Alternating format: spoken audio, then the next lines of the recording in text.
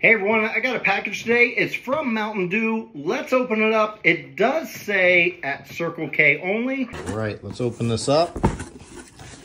More purple inside. Looks like a beach towel. That looks cool. What is that? Like a backpack or something? Or a cooler? Hmm.